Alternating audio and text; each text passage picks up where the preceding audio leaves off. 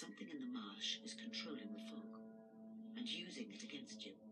You need to find the source and destroy it.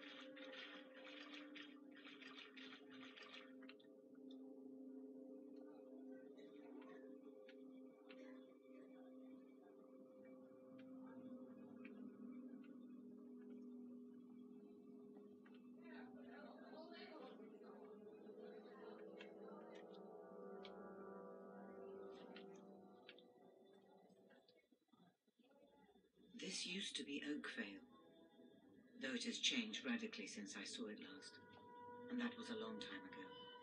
It has seen many a cruel deed. Six hundred years ago, bandits attacked the village and burned it to the ground.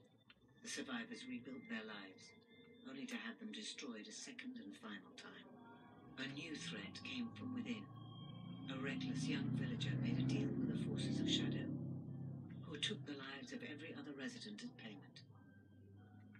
All of his family, all of his friends, everyone he loved. The marsh is the village, and Oakvale is nothing but a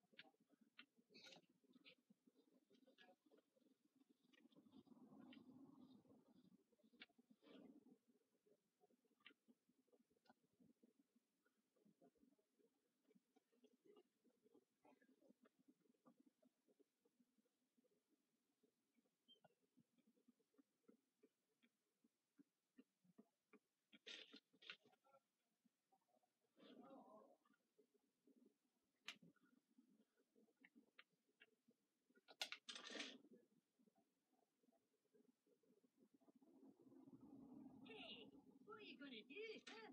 Shoot me! Oh, oh, oh, I'm shivering!